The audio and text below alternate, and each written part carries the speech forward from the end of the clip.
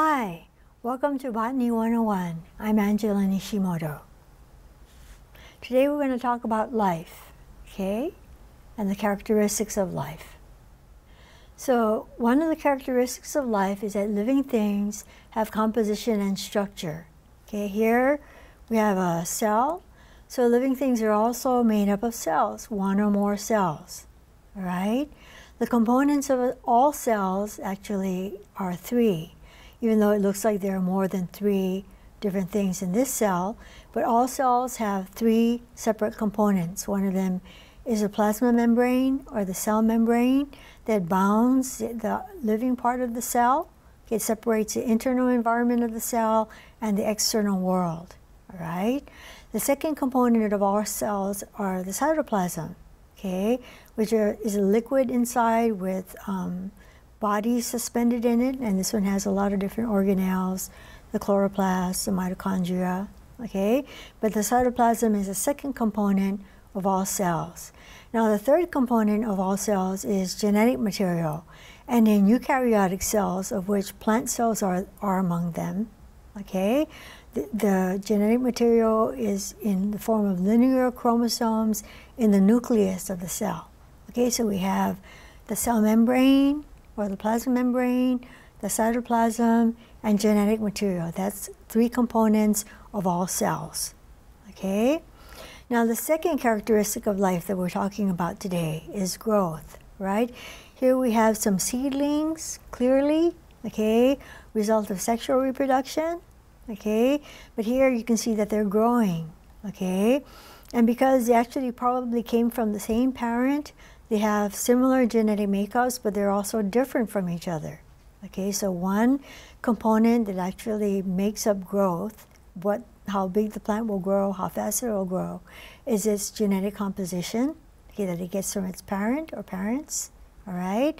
A second component is the environment. Okay, the environment in which it, it grows. So you can actually have one plant next to another, and if one actually gets more sunlight, gets a little bit more nutrients, gets more water, it will probably grow larger than the one next to it, even if they come from similar or even if they're clones of each other. Okay? Now, the third characteristic of life that we're covering today is reproduction. Okay, all living things do reproduction. Okay, here's a germinating seedling all right? And it's a result of sexual reproduction where you have one male parent, which is a sperm donor, one female parent, which is the egg donor. Okay, the sperm and egg come together to form a new individual. All right, that's sexual reproduction where we have two parents. All right. Now, when and plants can also do asexual reproduction as well. They can actually reproduce through their leaf or their stem or their root okay? And asexual reproduction has to do with one parent instead of two. So plants can do sexual reproduction with two parents, or they can do asexual reproduction with only one parent. Okay, another characteristic of life is that we have a response to stimuli, all right? So here we have a, an image of a plant, okay? And you can't really see it in this image, but it's actually responding to unidirectional source of light. So the light is on this side somewhere, and the plant is actually bending to bend toward light. Okay, what actually happens is at the very tip of the stem, you have hormones being produced. Okay, that when there's a unidirectional source of light, it actually translocates to this side, the dark side of the stem, okay? And that side actually has more cell elongation, so the cells grow bigger. And because the cells on this side grow bigger and the ones on this side grow smaller or not as big, the, the stem bends toward the light. Okay? That's actually been um, figured out by plant physiologists in the past, okay? Now another kind of response is stimulus, okay? If you actually to uh, get a pin and stick it in a pin cushion, you won't get a reaction, right? A pincushion is a non-living thing. But if you actually get a pin and stick it into a person, you can bet you're going to get a reaction from them, right? They're going to get all excited, okay, right? Okay, so uh, you're going to get a reaction from an animal for sure, or a person for sure. But if you actually stick a pin into a plant, what will happen? Okay, if you stick a pin into a plant and it hits the uh, tissue that actually transports food in the plant, okay, what can happen is within maybe five seconds of the pin being stuck into it and making a hole in it, okay, the phloem or the food conducting tissue will actually form something called callose, which is something that will plug up the hole. Okay, and not just that is that soon after that there will be some undifferentiated tissue developing at the wound site, which is called a callus, C-A-L-L-U-S. You know, so in a plant, un, uh, undifferentiated wound tissue is called a callus. Okay, so you can see that there's a difference between uh, how an animal would respond and how a plant would respond, but still, plants still do respond to stimulus, even though their uh, response tends to be slower. Okay? Now, another thing is plants have metabolism, or living things have metabolism. Okay? Right here in the center, we have the pathway for glycolysis, which is the first stage in what we call cellular respiration. Okay? So, uh, metabolism is all the biochemical reactions that happen within a living thing. All right? And plants and animals and fungi undergo respiration, which is an uh, energy releasing kind of reaction. And this is glycolysis. We start off with a molecule of glucose, which is a monosaccharide. We'll get into that a little later in today's lecture. Okay, and after certain enzymes do their work on this glucose and its products, okay, it becomes fructose diphosphate, all right, and then this splits into two uh, three carbon uh, phosphoglyceraldehydes. Okay? And eventually, after some changes and the formation of something called NADH, nicotinamide adenine dinucleotide, or reduced nicotinamide adenine dinucleotide, which is an electron carrier. Just remember it as an electron carrier in cellular respiration. All right?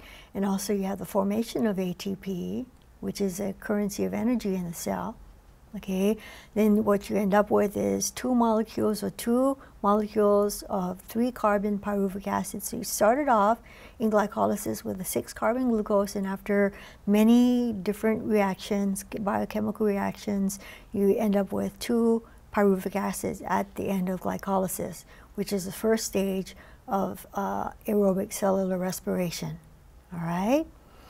Now, this here is actually a, sort of like a um, simplified depiction, and it's a very good image, all right, of photosynthesis. Okay, photosynthesis is energy harvesting kind of reactions, okay? So photosynthesis happens in two parts. You have the light reactions and the Calvin cycle, all right? And so light from the sun hits a leaf, which is the main organ of photosynthesis. Photo is light, synthesis means to join okay? And water is split by light and gives off oxygen gas. Remember, the plants actually give off oxygen gas, which we need to actually do our cellular respiration, okay? And so the light reactions generate another kind of substance called NADPH, which is another electron carrier, and ATP, the currency of energy in the cell, which goes to the Calvin cycle. Okay, and during the Calvin cycle, inorganic carbon in the form of car carbon dioxide is fixed, okay, eventually to form uh, sugars, all right? So um, respiration and photosynthesis are two kinds of uh, biochemical reactions that occur in living cells. There's also digestion. Okay, digestion actually takes large insoluble molecules and transforms them into smaller and soluble molecules. Okay, so from large insoluble to smaller and soluble.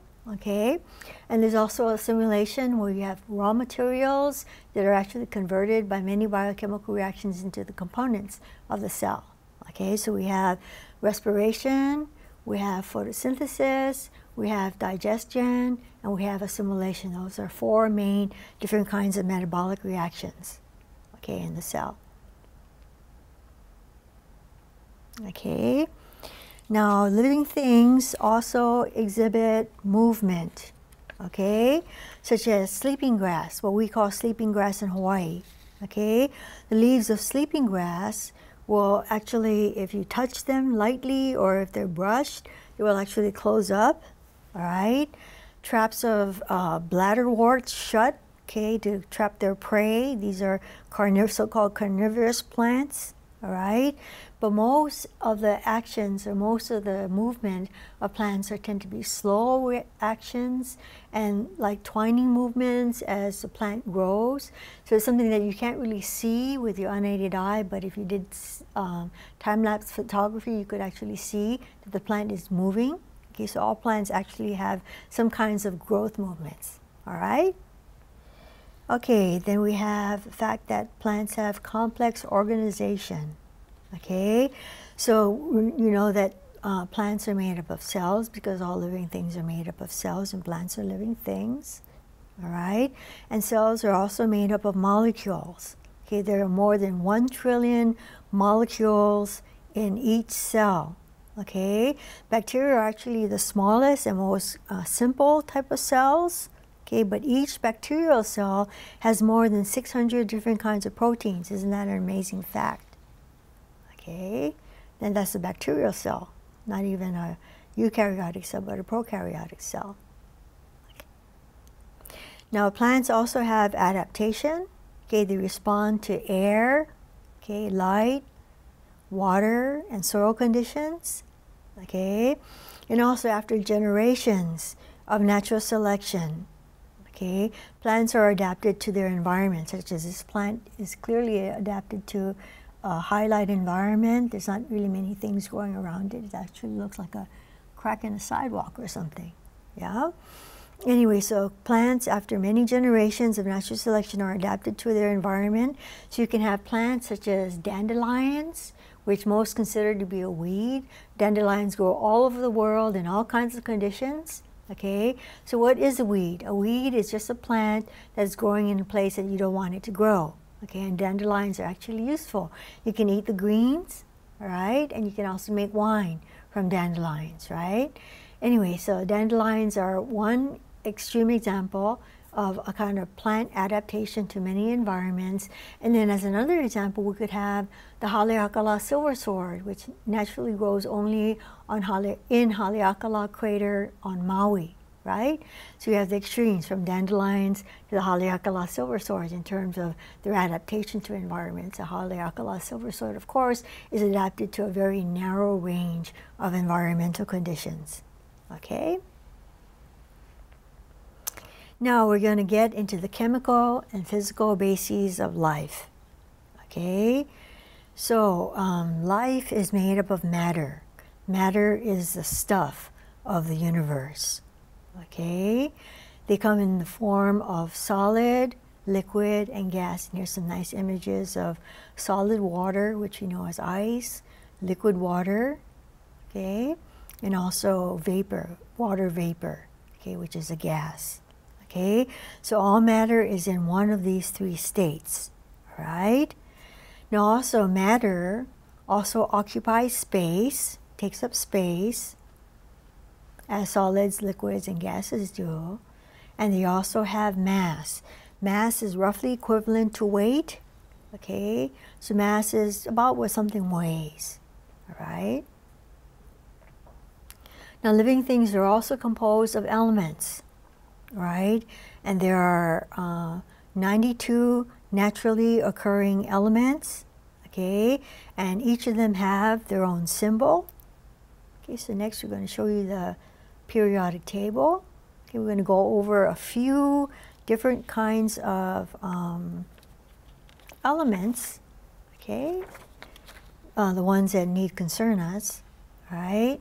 So here you have uh, an element called hydrogen, abbreviated with an H, right? You can see it has a 1 here, 1 here. That's the atomic number. That refers to the number of protons that hydrogen has in its nucleus. Okay, and this here is its mass number. Okay, its mass number is generally a combination of the weight of the protons and the weight of the neutrons. All right, but hydrogen does not have any neutrons, so its mass weight is one. Okay, Now, if there's one proton in the nucleus, there will be one electron, okay, which has a negative charge. Protons have a positive charge for hydrogen. Okay, so remember that. We're going to go back to that a little bit later. Okay. Another atom of interest or element of interest is carbon. Okay, carbon has an atomic number of six. That means it has six protons in its nucleus, six electrons in its orbitals. Okay, and it generally has a mass number of about 12. So generally in the nucleus of a carbon atom, you'll have six protons and about six neutrons, depending on the isotope or the variation of carbon that we're talking about. Okay. Now nitrogen is also an important uh, element to know about. Okay, it has an atomic number of seven or seven protons in its nucleus. Okay, so the number of protons in its nucleus is important because the number of protons equal the number of electrons. Okay, and the number of electrons actually determine how elements bond to each other or how atoms bond to each other or, or if they do form bonds. Okay, because generally if you have a certain amount of electrons in the outer uh, shell, the uh, element is unstable and will tend to form bonds. Okay. Now oxygen has an atomic number of eight, so it has eight protons in its nucleus, eight electrons in its orbitals. Okay. Another element I want to show you is sodium here. Sodium has 11, okay, an atomic number of 11. So that means how many protons in its nucleus? Okay, think about it. Okay, how many electrons does it have? Okay, now we also have uh, chlorine here, okay, which has 17 protons in its nucleus, okay, 17 electrons. Okay, so those are some of the elements I want you to know about. Some other important elements in terms of uh, organic chemistry or, or, organic compounds are uh, phosphorus, okay, and let's see, potassium and sulfur, as well as some others. Okay.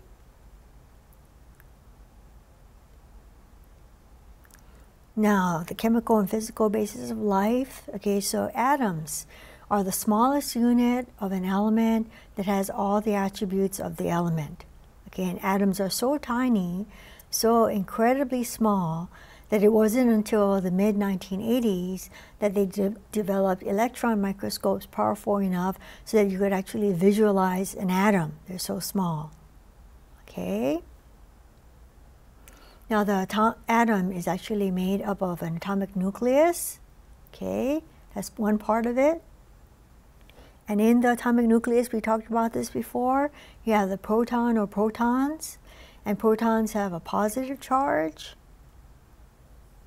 In the nucleus also, you have the neutron or neutrons, which have no charge. Okay, so do you remember what this is? This, what element this is or what atom this is? Remember six protons in the nucleus? Okay, six uh, electrons, right? One, two, three, four, five, six. So this is um, carbon, right? This is a carbon atom all right? And, and this is important, how many electrons are in the outermost orbitals or the outermost shell, because that's actually telling you how many bonds it needs to make. Okay, so we'll go back into this later. Just remember that carbon has six protons, six electrons. Always remember that in an atom, charges are balanced. Okay, for every proton in, uh, in an element, okay, you have the same number of electrons in the atom, okay? Now you also have the orbitals or the shells, and that's where the electrons reside, as you can see. This is a planetary model of an atom, of a carbon atom, okay, and this isn't exactly how carbon atoms really are, but it actually makes it easier for us to have this as a model to look at so we can see the discrete shells. So one of the things you see is that in the innermost shell, the innermost shell is actually full when it has two electrons. One, two. So the innermost shell is full. Okay, it's fulfilled, it's full. All right? Now the outermost shell of this carbon atom has four electrons. Okay, and in bonding, or what uh, in uh, the outermost shell, in this case, in the second shell, the uh, element wants or the atom wants to have eight electrons, and that has to do with bonding, which we'll go into in just a little bit. Okay? So electrons are actually so small, okay, that generally the mass of an electron is disregarded. Okay, they're like over a thousand, thousand times smaller than a proton or a neutron in terms of its mass. Okay, and remember that opposite charges, electrons have a negative charge. Remember that opposite charges attract, so the negatively charged electrons in the orbitals or in the shells are um, uh, chemically uh, drawn to the positive charges in the uh, nucleus, okay, where the protons are. And remember that neutrons, like neutral, have no charge to them, okay?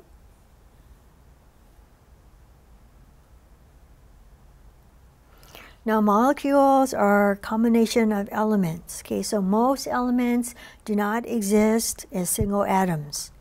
All right? So a molecule is two or more atoms bonded together. Okay, this is actually looking at molecular oxygen. Okay, oxygen has um, eight protons, eight electrons. Right, so there's two in the innermost orbital. Okay, and there's six in the outermost or orbital of an oxygen atom. So oxygen has a tendency to form two bonds to make the eight that it needs in its outer orbital. So one oxygen will double bond with another oxygen to form molecular oxygen or oxygen gas. Okay? Now another thing is that if you have two or more elements in a set ratio, that's what you call a compound, such as glucose or fructose, C6H12O6, Okay, those are in a set ratio, so that would that's something that you would call a compound. Okay, now valence is a combining capacity, which is based on the number of electrons. Okay, like we just talked about.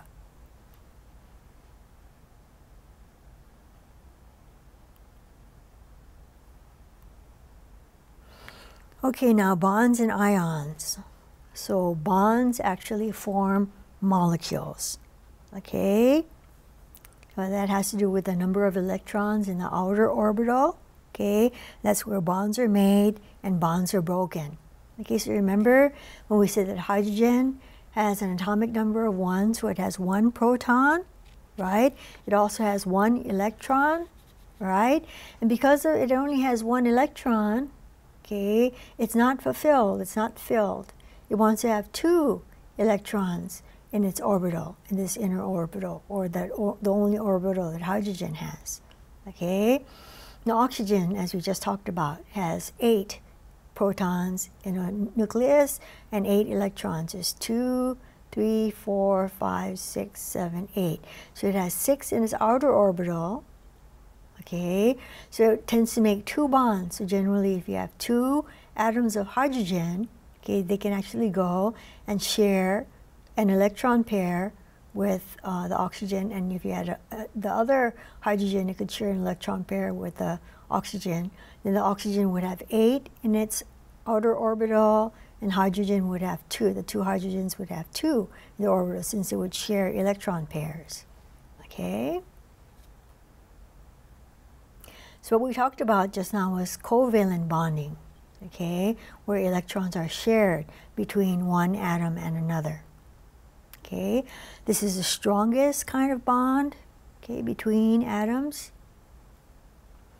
Okay, so we have here um, atomic hydrogen, hydrogen atoms, each of them with one proton, one electron.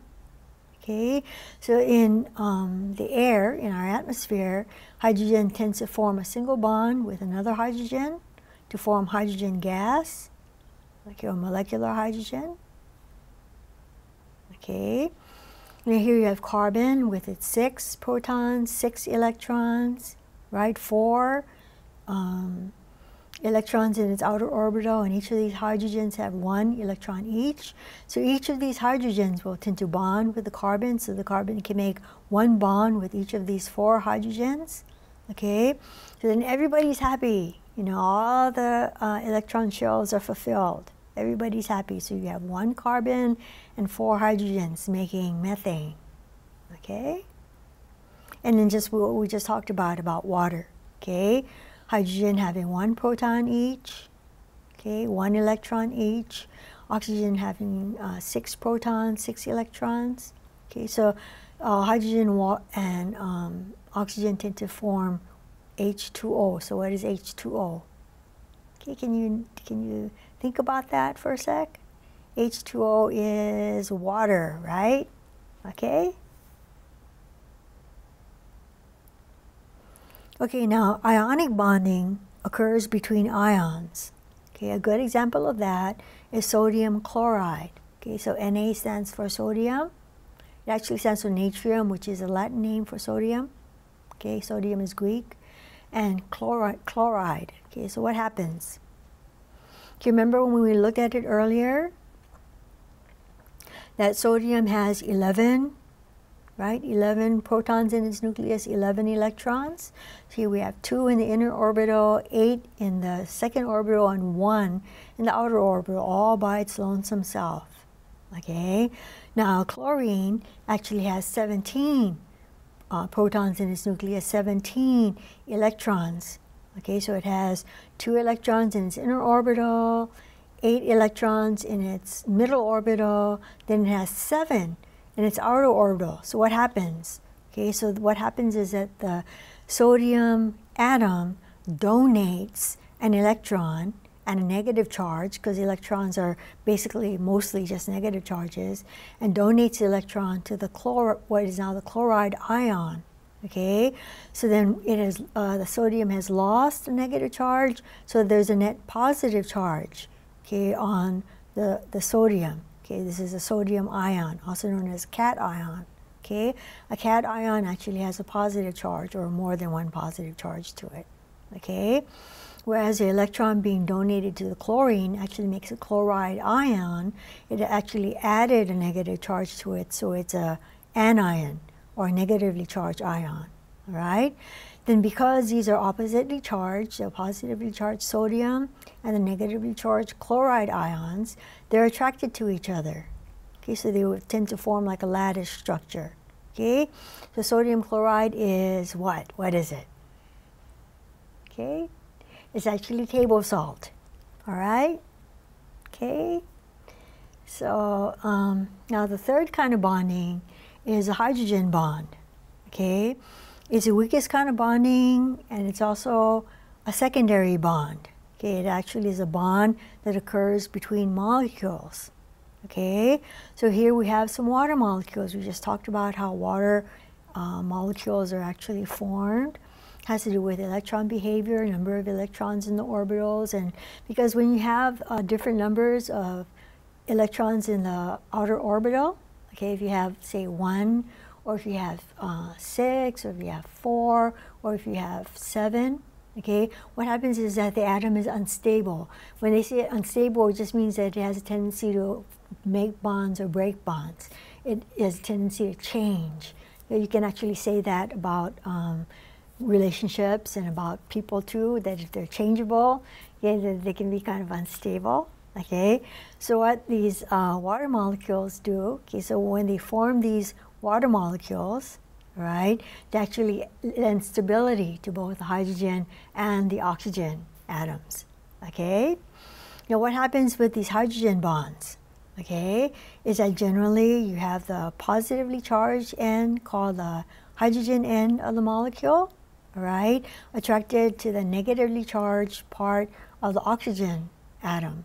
Okay, because what happens is that Oxygen is the most ele electronegative of all the elements. So oxygen has tendency to pull electrons toward itself. So the electrons that are shared between the oxygen and the two hydrogens tend to be more toward the oxygen side of the molecule.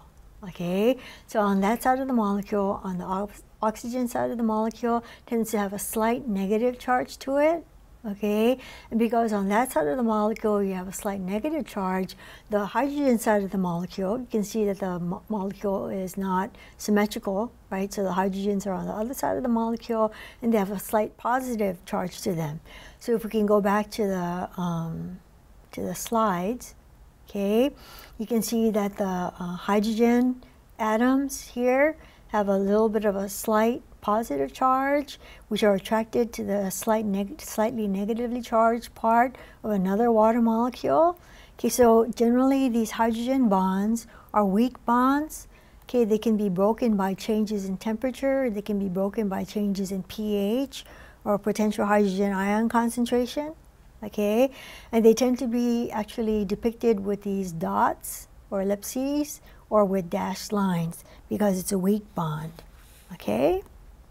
Oh, by the way, if you have any questions about anything we're talking about right now, okay, please do not hesitate to either phone me in my office during office hours or email me. Okay, if anything's unclear, if you're stuck on something, if you don't understand what I'm talking about, we can go over it. You can either contact me by email or through the phone, or you can uh, come to my office and see me, which is what I would like. Okay? We, we, we tend to do our office hours and nobody comes to visit us, you know?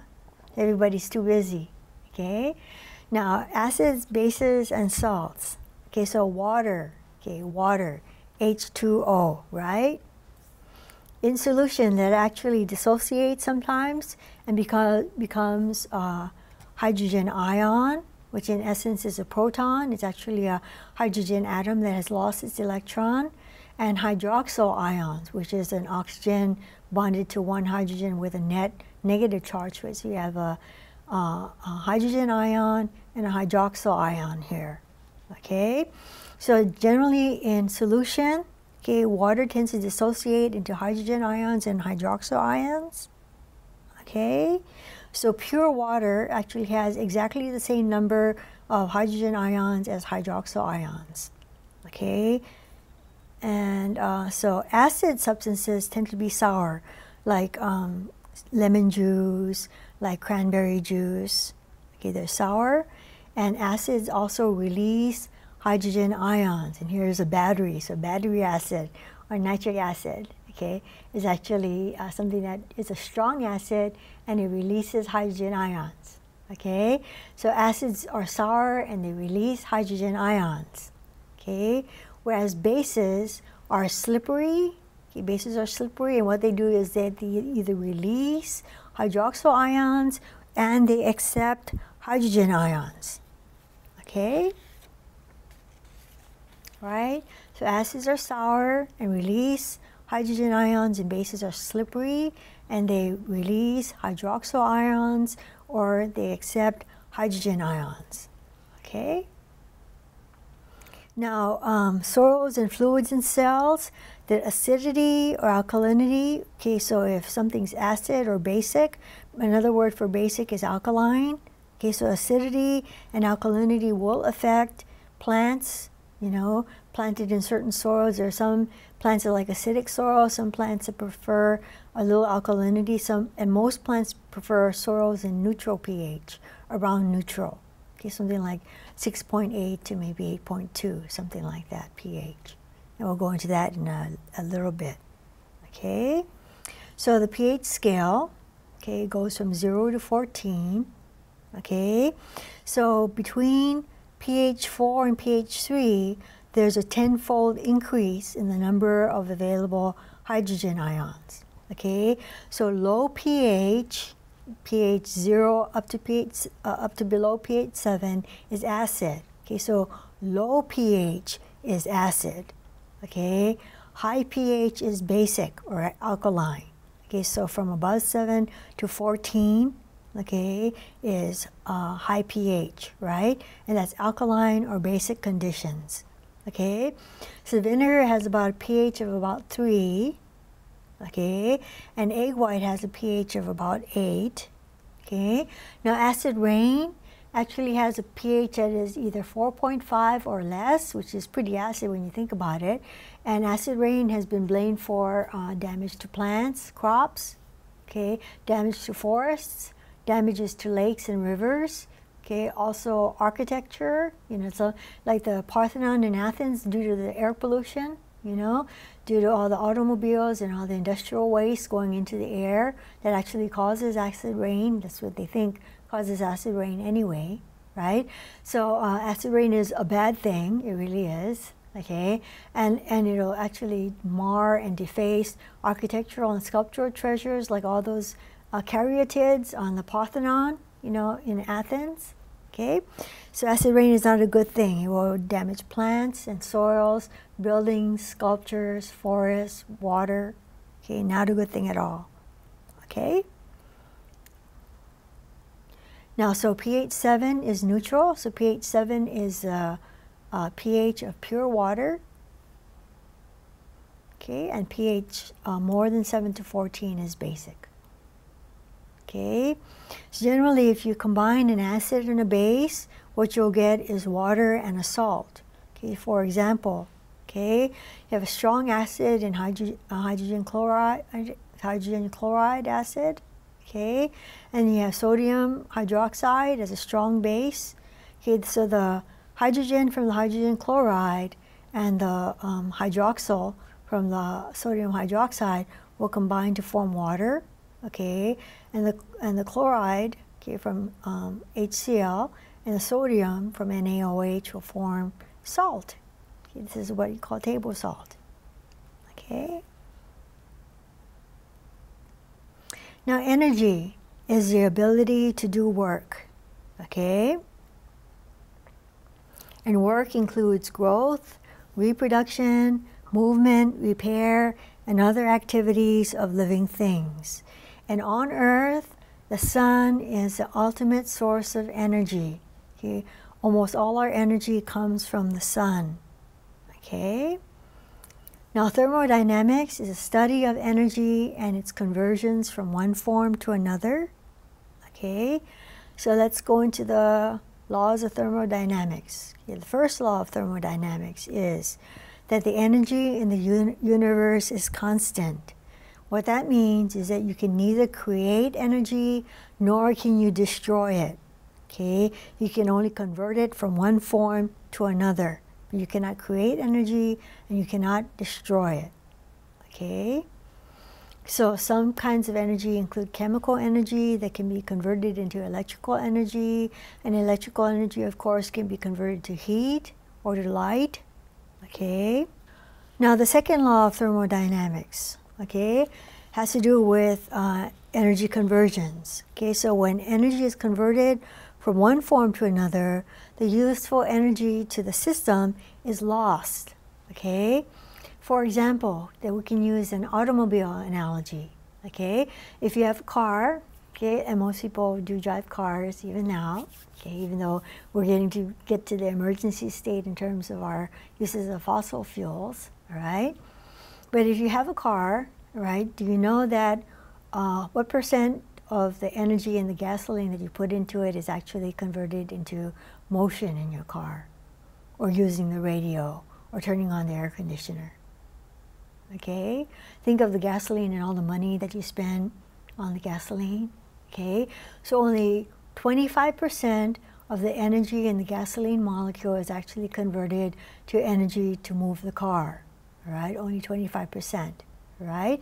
So as you can see, some energy is lost to the system, okay? Some of it is ex ex extruded as carbon monoxide, carbon dioxide, okay, sulfur, um, uh, light, heat, okay? Some of these different things that come from that, okay? So what you have is only 25% or one quarter one quarter out of every dollar of gasoline that you put into your car is actually converted to moving your car. Okay, and 75% literally goes up in smoke. Okay? So when energy is converted from one form to another, useful energy is lost. Okay? Now we also have forms of energy. You have kinetic energy, which is energy of movement. Okay, then you have potential energy, which has to do with energy of position. Okay, so uh, a rider of a bicycle at the top of a hill has lots of potential energy due to their position on top of the hill, or even a runner on top of the hill has a lot of potential energy due to their position. Now, energy of position also has to do with uh, molecules. There's actually uh, energy held in the chemical bonds that actually bond one atom to another. Okay, so that's actually a form of potential energy okay, in the chemical bonds between one atom and another. Okay, now uh, the chemical components of cells, okay, so the cytoplasm and the structures within it, okay. So this is the chemical components of the living part of the cell, the cytoplasm and the structures, the organelles, you know, such as the chloroplast, such as the mitochondrion, okay, such as the ER, and etc., which we will be going over in a future lecture. So don't panic. Okay, we're going to actually cover it in quite some detail before you're quizzed on it or anything like that. I'm just trying to give you some previews before we actually get into some of the um, basic stuff we need to get into. Okay. So 96% of cytoplasm and the structures within it are made up of carbon, hydrogen, oxygen, and nitrogen. So 90% C H O N, almost like somebody's name. Okay?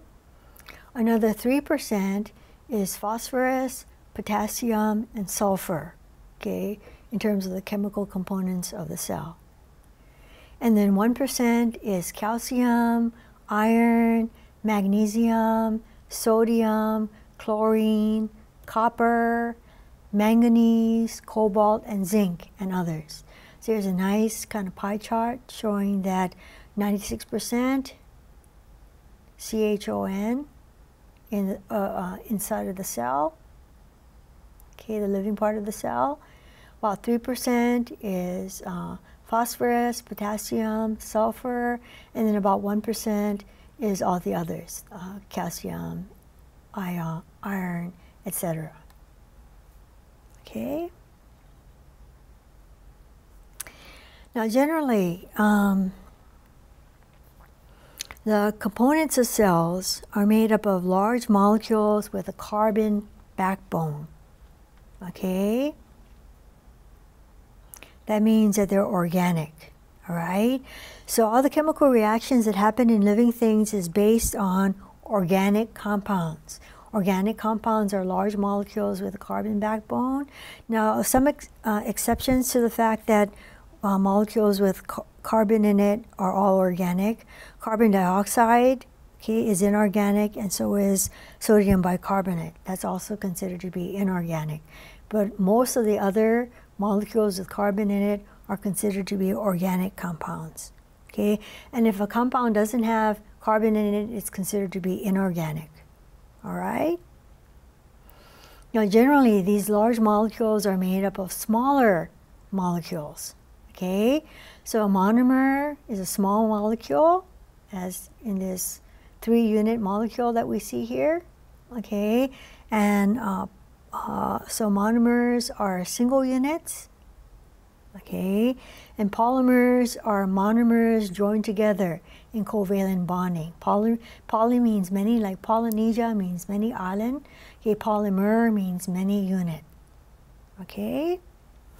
So the four different kinds of large molecules with carbon backbones that are called the macromolecules of life are the carbohydrates, the lipids, the proteins, and the nucleic acids. Okay?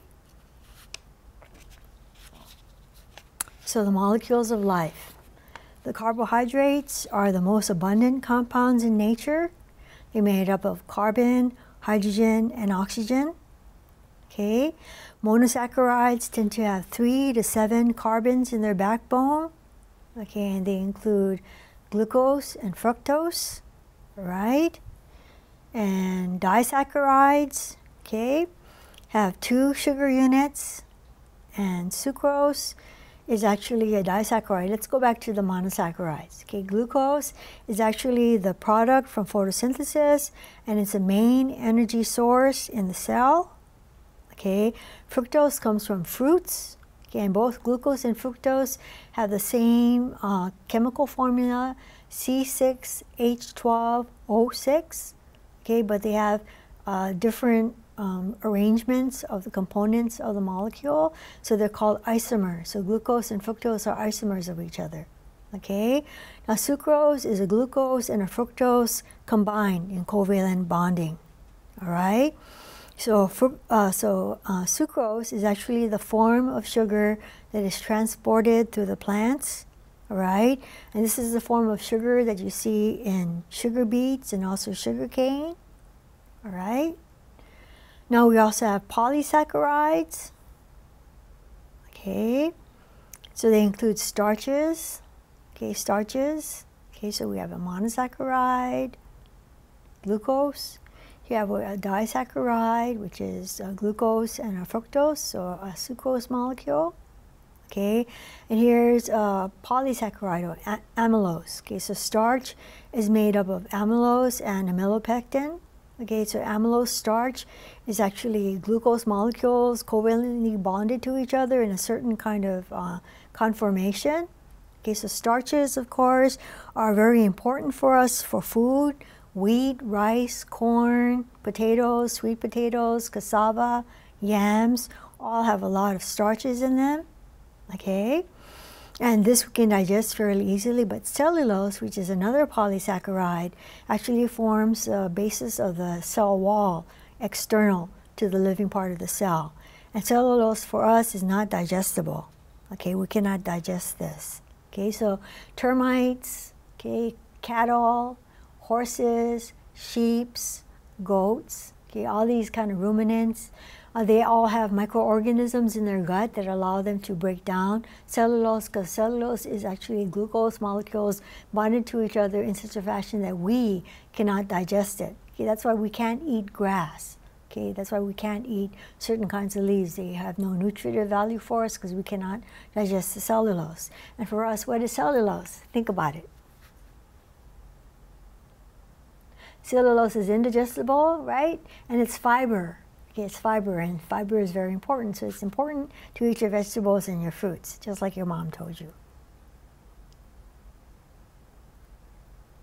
Okay, now the second kinds of macromolecules are called lipids. Okay, they're insoluble in water. They have two times as much energy as carbohydrates and also proteins. And they are the fats and oils. Okay, fats are solid at room temperature and oils are liquid at room temperature. Okay.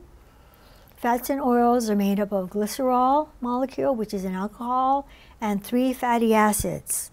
Okay?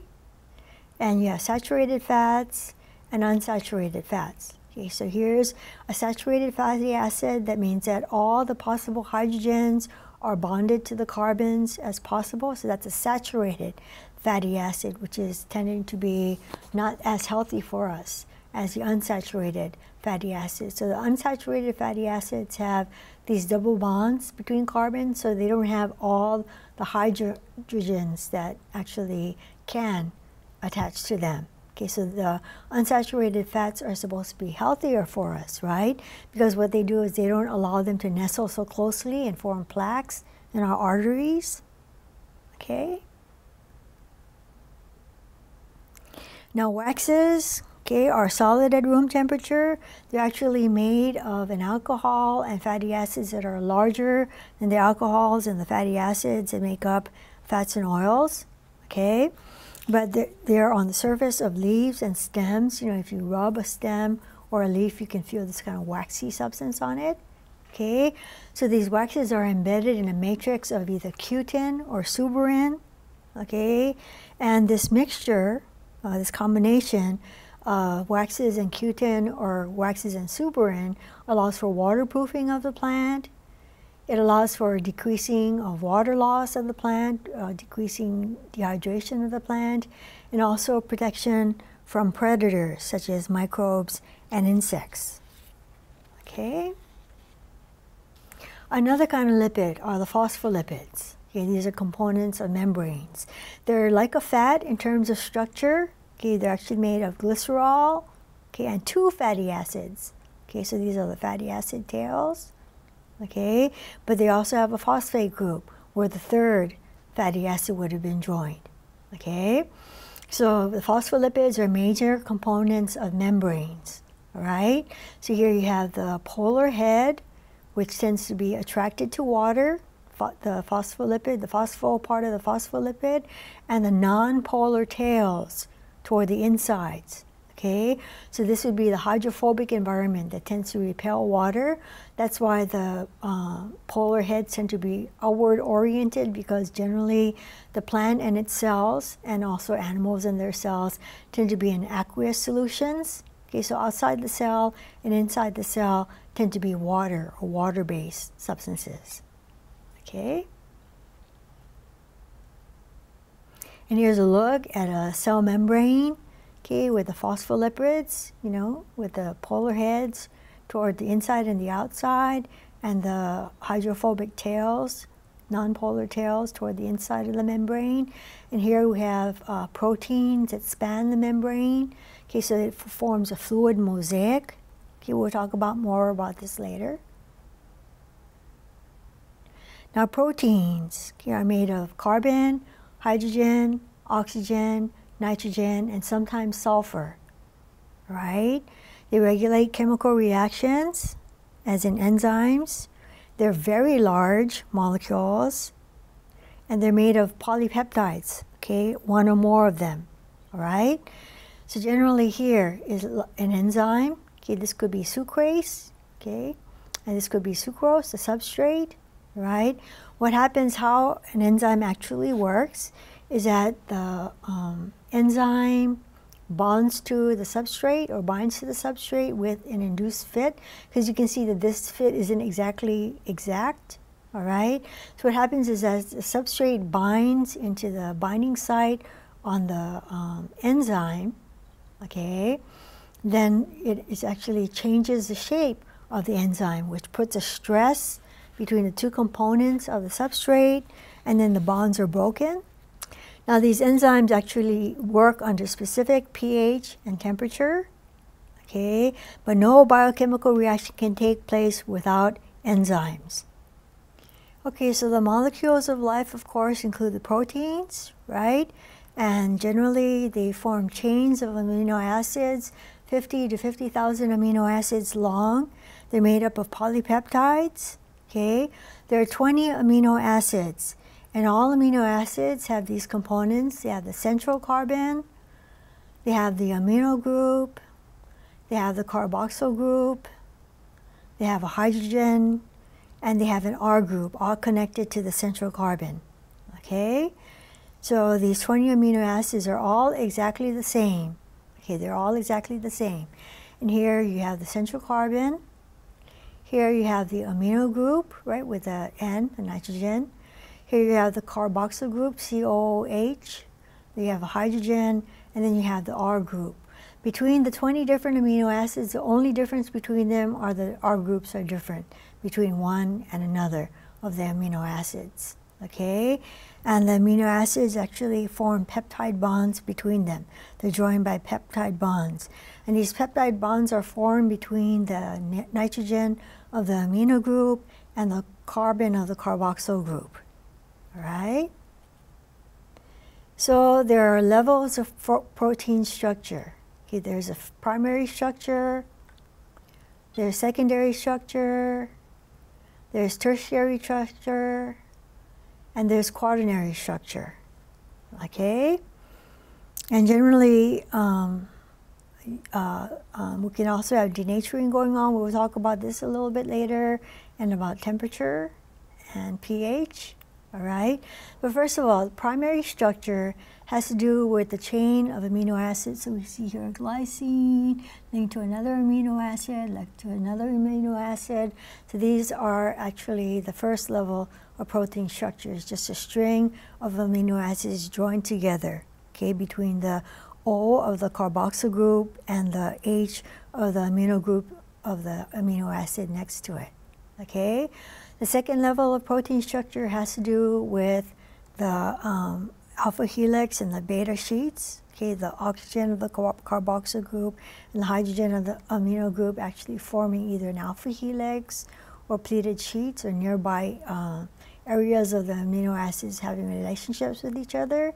Tertiary structure has to do with um, the bonds between R groups uh, in different amino acids in farther apart areas from each other. So it gives the three-dimensional conformation, okay, of the polypeptide. Okay, so all proteins have the first level, the second level, and the third level of protein structure. But some proteins also have quaternary structure, or the fourth level of protein structure, where the protein is made up of uh, more than one uh, polypeptide. Okay.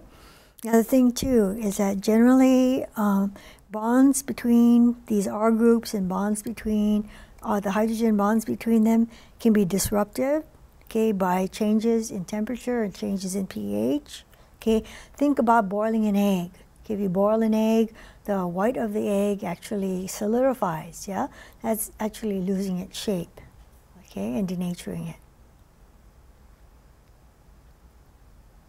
You know, storage proteins include small amounts of proteins in potato and onion and larger amounts in seeds. Okay, and these uh, protein amounts in seeds have actually been very important to humanity for food. Okay, uh, and wheat gluten has been extremely important in terms of bread and pastas, right? And they're made of a complex of more than a dozen proteins. Okay, and these proteins get used up okay, to help germinate the seed and help the seedling to grow. Okay, now enzymes are catalysts for chemical reactions, right? They're large and complex proteins, all right? And they tend to end in ASE, such as amylase, such as sucrase, all right? And they're uh, specific under specific pH and temperature. They can only function under specific pH and temperature. Okay? And no biochemical reaction can take place without them. All right? So generally enzymes have some important commercial uses, such as in waste treatment plants, in the dairy industry, and for detergent manufacturers. Okay, all these different kind of commercial applications use enzymes that are mass produced by microbes in big, huge vats. Okay. Now the nucleic acids are made up of carbon, hydrogen, oxygen, nitrogen, and phosphate, phosphorus. Okay, they include DNA and RNA. DNA is deoxyribonucleic acid. It's in the form of a double helix. As you can see, it's like a rope ladder twisted. And they're made up of nucleotides. Okay? And nucleotides are made up of a nitrogenous base, a sugar, and a phosphate group. Okay? And adenine pairs with thymine, and guanine pairs with cytosine. Okay? Now RNA is ribonucleic acid. Okay? And DNA and RNA differ from each other in terms of RNA being smaller, DNA being larger. Okay? D DNA is double-stranded, RNA is single-stranded. DNA has a deoxyribose sugar, RNA has a ribose sugar, okay? And the bases in DNA are adenine, thymine, guanine, and cytosine. And in RNA, it's adenine, uracil, guanine, and cytosine, okay? So we talked about characteristics of life, about matter, about forms of energy, elements of cells, and the molecules of life. So that's all the time we have for us today. Okay, so hopefully you enjoyed this lecture as much as I did. Aloha.